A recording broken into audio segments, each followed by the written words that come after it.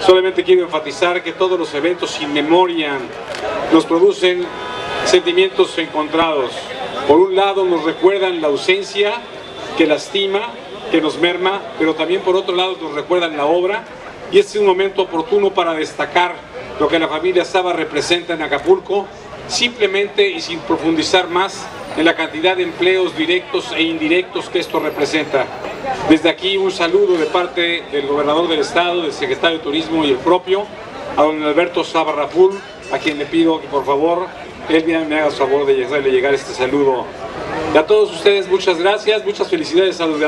ganadores, muchas felicidades a los organizadores y que esto sea por muchos años, que esto crezca, que sirva no solamente para el deporte de Acapulco, sino para la atracción turística que tanto necesitamos. Para nosotros ha sido, eh, fue un honor y sigue siendo ese honor hoy día que eh, al frente de esta Secretaría podamos anunciarles que también el primero y segundo lugar eh, los invitamos en nombre del gobierno del estado para que participen en la carrera que se lleva a cabo el maratón en Chicago que es el 2016 será